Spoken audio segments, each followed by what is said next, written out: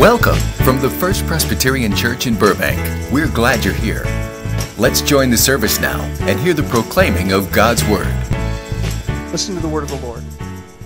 After three months, we put out to sea in a ship that had wintered in the island. It was an Alexandrian ship with the figurehead of the twin gods, Castor and Pollux. We put in at Syracuse and stayed there three days. From there, we set sail and arrived at Rhegium. The next day, the south wind came up, and on the following day, we reached Petu, Petu. There, we found some brothers and sisters who invited us to spend a week with them, and so we came to Rome. The brothers and sisters there had heard that we were coming, and they traveled as far as the Forum of Appius and the three taverns to meet us. At the sight of these people, Paul thanked God and was encouraged. When we got to Rome, Paul was allowed to live by himself with a soldier to guard him. Three days later, he called together the local Jewish leaders. When they had assembled, Paul said to them, My brothers, although I have done nothing against our people or against the customs of our ancestors, I was arrested in Jerusalem and handed over to the Romans. They examined me and wanted, me to re- wanted to release me because I was not guilty of any crime deserving death. The Jews objected, so I was compelled to make an appeal to Caesar. I certainly did not intend to bring any charge against my own people. For this reason, I have asked to see you and talk with you. It is because of the hope of Israel that I am bound with this chain, these chains. They replied, We've not received any letters from Judea concerning you, and none of our people who have come here has reported or have said anything bad about you. But we want to hear what your views are, for we know that people everywhere are talking against this sect, sect of Judaism, which was turned into Christianity. They arranged to meet Paul on a certain day and came in even larger numbers to the place where he was staying. He witnessed to them from morning till evening, explaining about the kingdom of God and from the law of Moses and from the prophets. He tried to persuade them about Jesus. Some were convinced by what he said, but others would not believe. They disagreed among themselves and began to leave after Paul had made his final statement. The Holy Spirit spoke the truth to your ancestors when he said through Isaiah the prophet, Go to this people and say, You will be ever hearing but never understanding. You will be ever seeing but never perceiving. For this people's heart has become calloused. They hardly hear with their ears, and they have closed their eyes. Otherwise, they might see with their eyes, hear with their ears, and understand with their hearts, and turn, and I would heal them. Therefore, I want you to know that God's salvation has been sent to the Gentiles, and they will listen. For two whole years, Paul stayed there in his own rented house and welcomed all who came to see him. He proclaimed the kingdom of God and taught about the Lord Jesus Christ with all boldness and without hindrance. This is the word of the Lord. Thanks, Thanks be to God. And what a powerful word it is. It kind of reads like a, a log book. And we've noticed that the last, last seven chapters as Paul has gone from Jerusalem now on his way to Rome. And Luke has joined him, and Luke is telling us the events that happen and the miracles that take place. In fact, we have seen miracles and powers and signs. And we saw in Acts chapter 2, the day of Pentecost came and the Holy Spirit empowered God's people to do what Jesus could do. Isn't that amazing? That is how we are to live. Jesus, when he gathered his disciples together, and as he gathers us together, says, Look, greater things will you do than I did because I go to the Father. Are you living in that life of victory? That's what Christ would want for you today. To know that you can do all things uh, and that God has empowered you to do so. Now, as we come to the book of Acts, I think it's important that we pause to understand how we've read the book. Because we've seen miracles. People, uh, Paul, who was bit by a viper and just shook it off. We've seen uh, people raised from the dead. We've seen people healed. And yet, when we see that, we're tempted to think, oh, yeah, that happened 2,000 years ago. But, friends, in the mind of God, that just happened two days ago and you're a part of this story. Praxis, the acts of the Holy Spirit through God's church. That's you. Still continuing on. But as we look at all of that and gather all that information, the question is what do we do with that information? You know, sometimes we get interesting facts and we don't know what to do with it, but they're fun facts, aren't they? One of my favorite drinks is Snapple. Anybody ever drink Snapple? I brought my Snapple bottle here.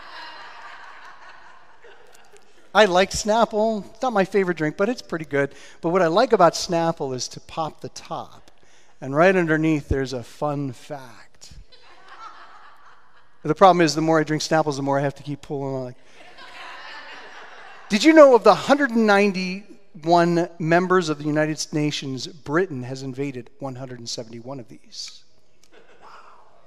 It's amazing. I have another one. You want another one? All right, good. I think people like. If there are two full moons in a month, the second one is called a blue moon. Very good. All right, good.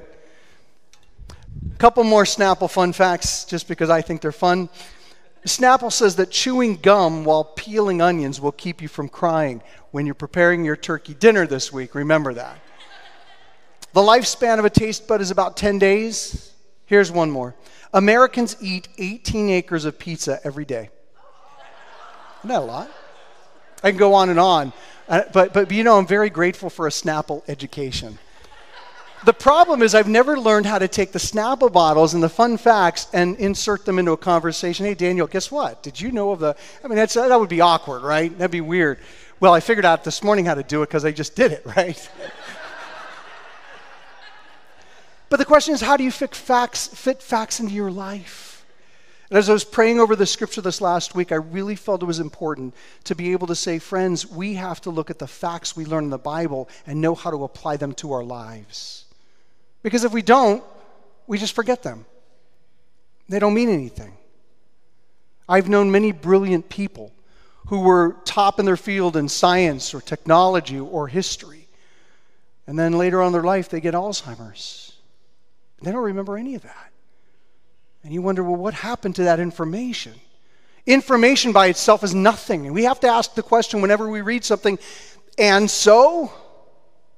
And so, what does this mean for my life, your life? Everything written in the Bible has a purpose to it. And yet, there are so many people that read the Bible like a Snapple fun fact. Who can forget in the Bible, for instance, Balaam? Who wanted to curse the Hebrews as they came into the land, and a donkey stopped. And the donkey talked to him, and he talked back. And you think, wow, that's kind of a weird fact, isn't it? One of the ones the middle schoolers like especially is King Eglon, the big obese king who, when he was stabbed by an assassin, the knife was sucked in his belly, nobody could get it out. I know that's gross, but middle schoolers like that information. The question is, what are you going to do with that? Or who could forget Samson? When he wanted to get revenge on the Philistines, and so he captured 300 foxes, tied, tied them in pairs, two by two, you know, of course that's what pairs, tied them in pairs, put a torch on them, and ran them through the field to destroy the crops of the Philistines. Now we look at the weird stuff that's found in the Bible, and sometimes we just laugh and move on our way, but there's a point to it all. There's a reason for everything we're told, everything that we're told. What do we do with it? I wanted to share this this morning because now we have finally, after months and months and months, looking through the facts of the book of Acts, friends, what are we going to do with it? And I hope it doesn't become a Snapple fun fact to you. Because what we learn in the book of Acts is this God trusts you, God loves you so very much. Look at my beloved daughter, look at my beloved son. And Jesus, when he built this, this thing called the church together, actually believed now go, love the world, serve, heal the sick, cast out demons, raise the dead. And if we look at the book of Acts as, well, that was a good study and put it on the shelf, we're not treating it the way the Holy Spirit wants us to treat it. I hope when you leave today, you see that God loves you, God has called you, and you have a purpose in your life and you are to go and change this world. The same Spirit that lived within Jesus, the Holy Spirit, now lives within you. Go and do great things. And so when we look at this, the book of Acts, we see that it ends abruptly. We just have Paul in Rome. We've journeyed with him throughout the book. And all of a sudden, he spent two years getting from Jerusalem to Rome. Now, you'll remember in those chapters before that, seven chapters before this, Paul went to Jerusalem. He was told, if you go to Jerusalem, you're going to get arrested, but he went anyway. And there in Jerusalem, he began to preach to his people about this Jesus who died for people's sins and rose from the dead, and how it lines up with the scriptures from the very beginning, all the way through. Everybody was awaiting the Messiah. Paul is now proclaiming this Jesus fits this, and he rose from the dead. You'll remember Paul didn't believe in that until he had that moment of encounter with Jesus on the road to Damascus. And now he boldly preaches that message, and his fellow Jews want to kill him. And so he appeals to Caesar. Now he also has a Roman citizenship. And it, with a Roman citizenship, if you appeal to Caesar, you get a date to go to stand before Caesar. And Paul is rescued.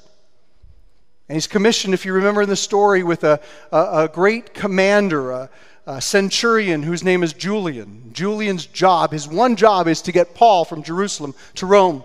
And Paul is in chains now. And we've seen how that relationship has developed. In fact, we saw how Julian trusts Paul. He lets him go and says, Go visit friends, knowing that if Paul doesn't come back, he gets killed. But that was the kind of man Paul was. He was a man of integrity. His word was his bond. And now he's been in chains with Julian. Notice that Paul will be traveled with, with him will be Luke and Aristarchus.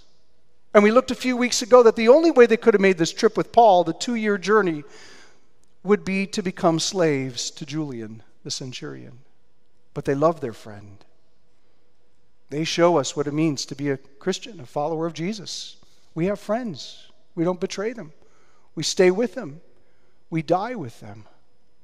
That's the love the church is supposed to show to one another.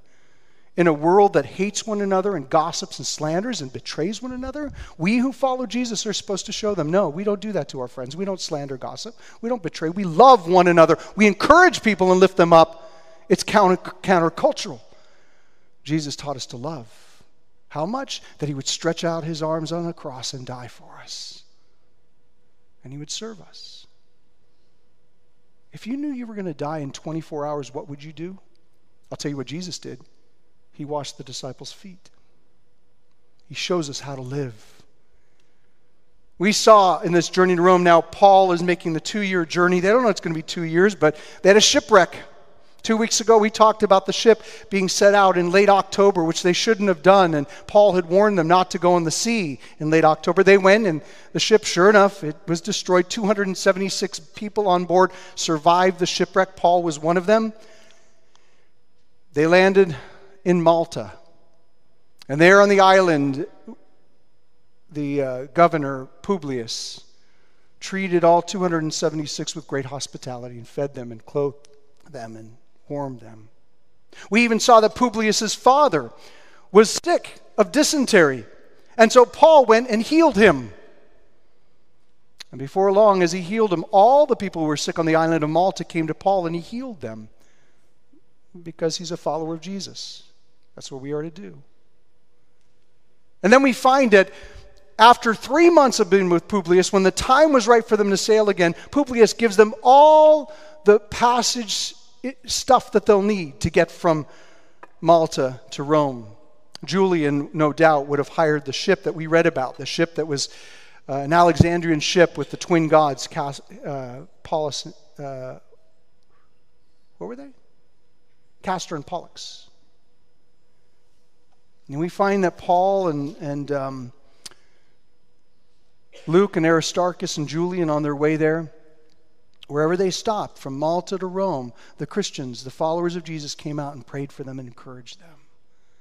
That is why it's so stunning when Paul gets to Rome. And the first thing he wants to do is talk to his Jewish friends, his brothers, and they say, We don't know anything about this. We haven't heard anything. And yet we find out those who follow Jesus, they knew about it. And they went and prayed. And I happen to believe that's the Spirit's way of saying, by following Jesus, you're awakened to things that are really happening. Sometimes religion can deaden us if it's meaningless. And so we find Paul being encouraged by the Christians along the way. And then in verse 14, we heard the words, we hear the words, and so we came to Rome. Wow. Two years. And so we came to Rome. I can only imagine as they walked into the city there with chains on and Julian. I can imagine Paul looking up. Now, Paul had been to Jerusalem, the hub of Jewish activity in the world. And Jerusalem was beautiful and glorious. But now they're in Rome, the hub of the world. And I can imagine their eyes wide open and their jaws dropping as they saw the, the, the buildings and the arenas and the statues This was truly the hub of the ancient world. And as they went in, I could imagine Paul's heartbeat to say, Oh Lord, help me preach about Jesus here. We learned that Paul would spend two years there waiting trial. And we don't know what happened, but we do know that he's dismissed, he's released. And we don't know if it is possible that the Roman authorities saw that, wow, this, this case, when it gets to us, is already four years old, forget about it. We don't know if that happened or if Paul stood before Caesar and pleaded his case, and Caesar said, go free. This is not a charge. We don't know. But we know for two years in Rome, he was chained to a soldier in an apartment. What we also know is that during the time of Paul in Rome, it was very fruitful. Four books of the New Testament are written during his time in Rome, that, in that occasion. First time he went.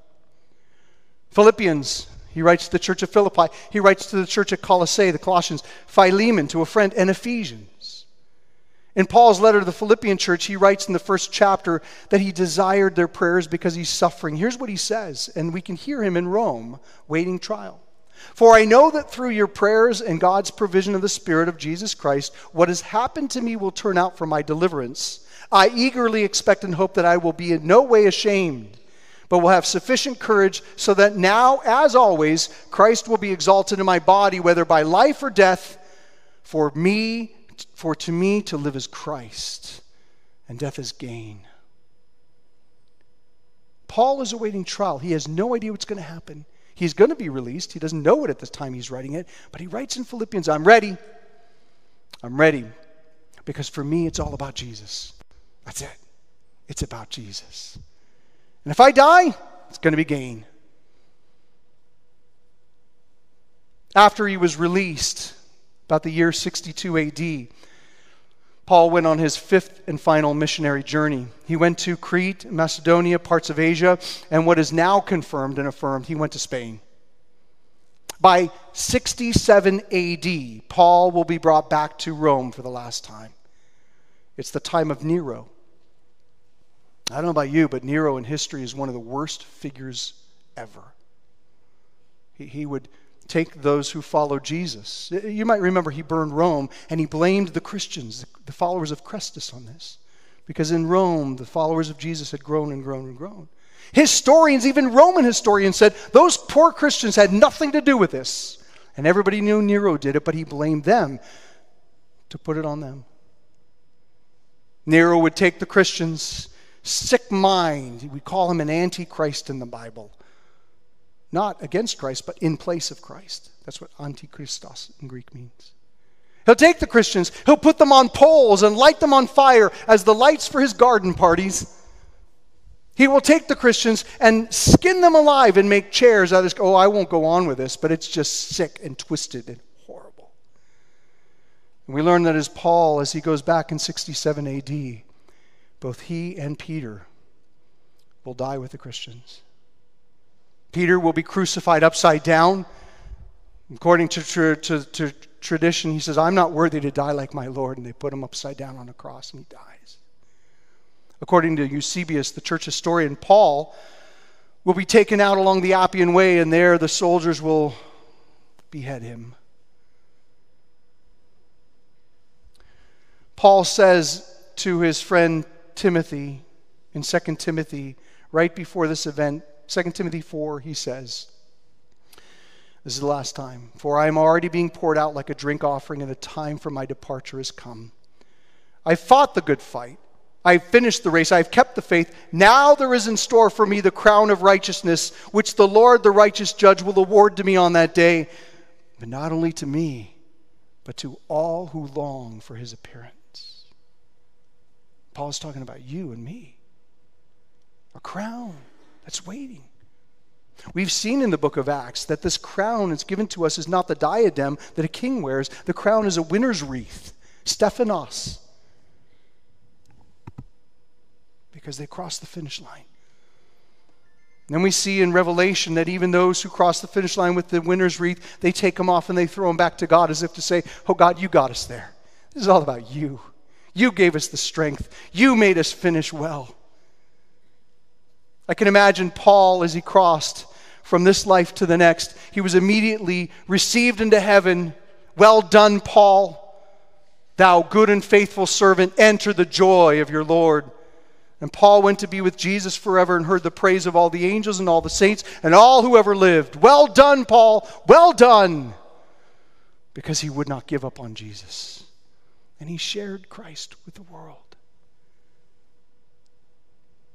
What kind of reception will you receive? What you do for the Lord is eternal. The things you do here on earth last forever. We put so much stock into the things of this world. We know people who want to make a name for themselves in this world. Fine. But that'll last only 80 years at the most. 100 years, 110 maybe now. What is done for Christ will last forever and ever and ever and ever and ever and ever and ever. Charles Thomas Studd, 1860 to 1931.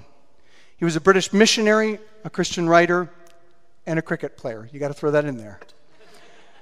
The early part of the 20th century, he wrote these words that are so profound. Listen to them. This is a poem. Two little lines I heard one day, traveling along life's busy way, bringing conviction to my heart and from my mind would not depart.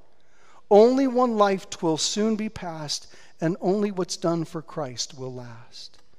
Only one life, yes, only one. Soon will its fleeting hours be done. Then in that day, my Lord to meet and stand before his judgment seat. Only one life twill soon be past.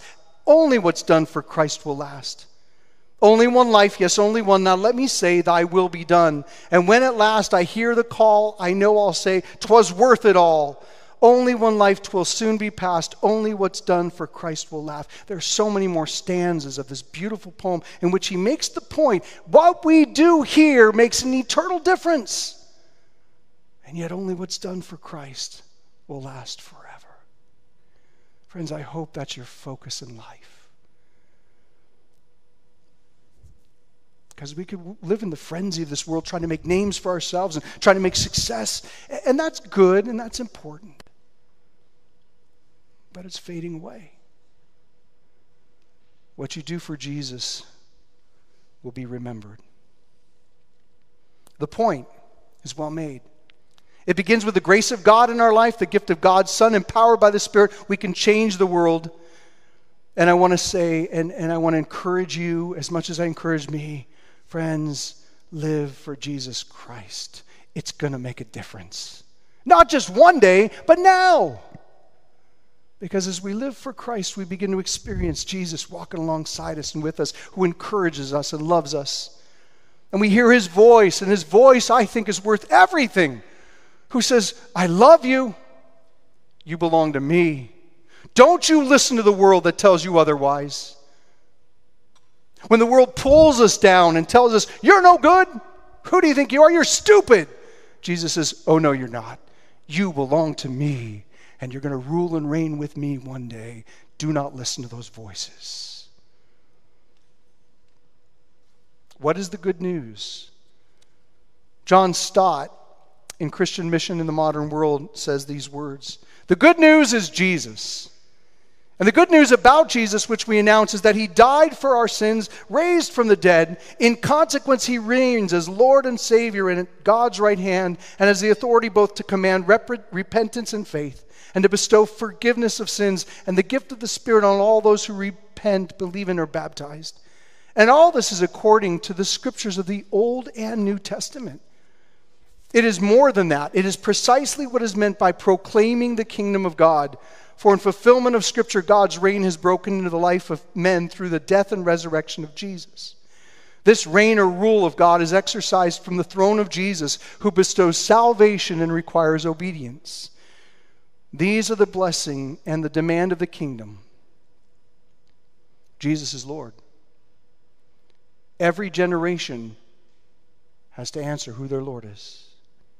Every moment in your life is a is a is an act of affirming Jesus as your Lord or denying him as Lord. Every generation has been called upon. Who is your Lord? And God bless those who would stand up and say, Jesus. Because when I become when I come to Him, He sets me free. When I come to him, he brings me joy. When I come to him, I know what peace is like. Jesus said, My peace I give to you, not as the world gives, give I to you. Don't let your hearts be troubled. Don't let them be afraid. And that's what it means. Jesus is Lord. The gospel is not just about being a nice person, though it involves that. The gospel is not about just being honest and fair in life, though it involves that. The gospel is not talking about the subject of love, though it involves it. It's about living out the love of Jesus Christ, not some nebulous term, because Jesus is love. It is about Jesus who loves you so much, you have no idea. Wants to empower you to be more than a conqueror, to do all things. The Gospel's God's love.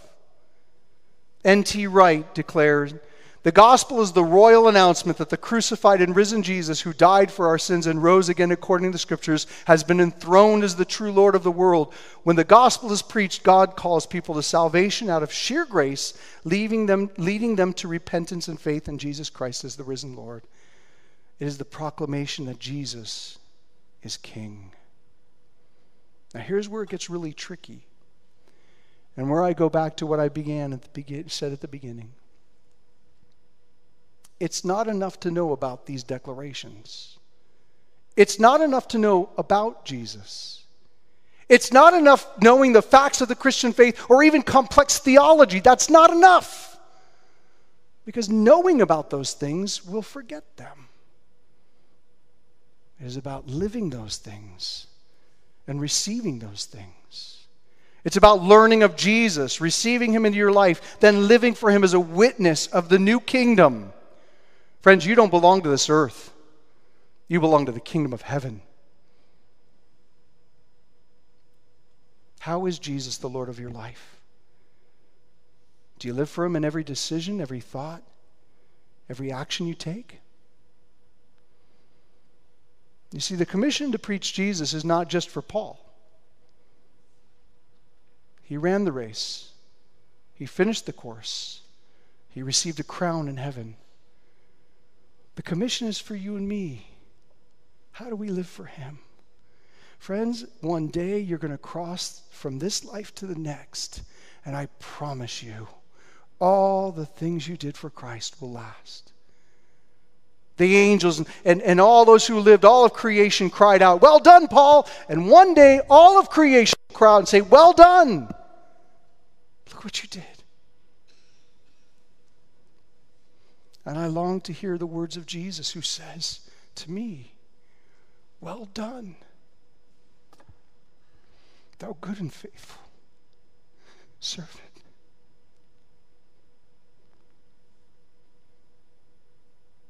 And so when we look at the book of Acts, and it ends, it doesn't end. Oh, it ends the way the Holy Spirit empowered Luke to write, but Paul's still waiting trial.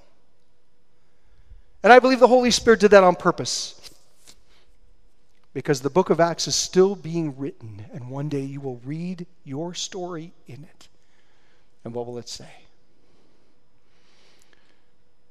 I believe it'll say, Well done. You shared about God's love. I want to end a story. I want to end the message with a story I once heard. It's about a man and woman who were so inspired one day to go to live their lives for Christ that they actually, in the 19th century, they actually, 19th early 20th century, they actually went and gave up all and went to a third world country. And there in the third world country, they walked into a village and they began to educate the people and they fed the people and they provided healing and first aid to the people that were there because they needed it.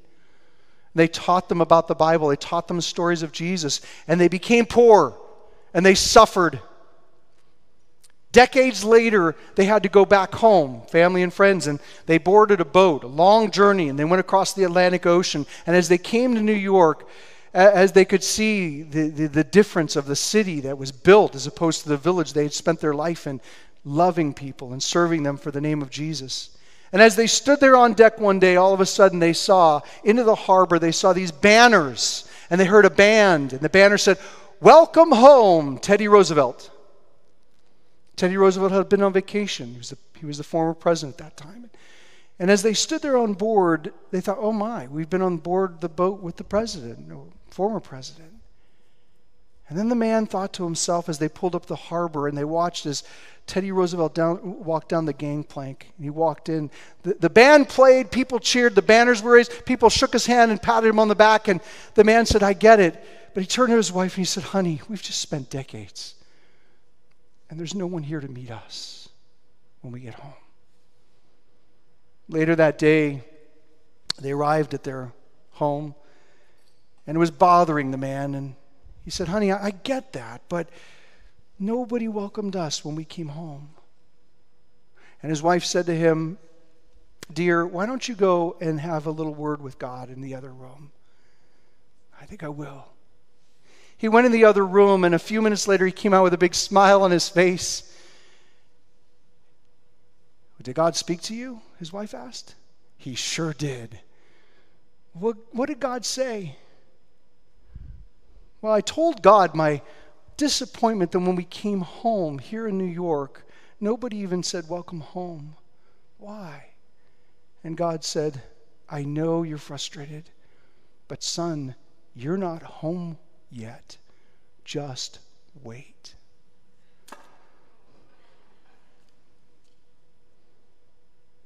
Isn't that the point? One day, one day, friends, you will cross from this life to the next. And only what you've done for Christ will be carried with you into eternity. But I promise you, actually, I believe the scriptures promise you, if you live for Jesus Christ, you will hear Jesus say, Well done and you'll hear that applause and that cheer and the choirs and the praises and the banners saying, Well done, not just for a moment, but forever and ever and ever and ever and ever. Because it's all about Jesus, isn't it? And as we leave this place today, I want you to go out with power and victory to live as though you belong to the kingdom of God, which you do not the kingdom of this world which is passing away. No more slander, no more gossip, no more pulling people down. Because the kingdom of God is about lifting people up and loving them and telling them that God loves them too. Amen? Let's pray. God, you love us so very much, more than we can ever imagine. And you smile upon us. When we feel discouraged in this life, it just means that we don't know how you view us. God, I pray as we leave the church today that we will be encouraged to live for you with all that we have, to share the name that is above all names, our Lord who reigns forever, Jesus. Bless us to do that well. I pray for anyone here today that might feel discouraged, God, that you lift them up and help them see the way you look at them, that they're your son, they're your daughter, and they're so important. Bless us as we leave to do your work well, we pray in Jesus' name. Amen. We hope this service has been a blessing to you. We also invite you to join us to worship in person on Sunday mornings. We have services at 9:15 and 11:15. Thank you for watching and may God bless you.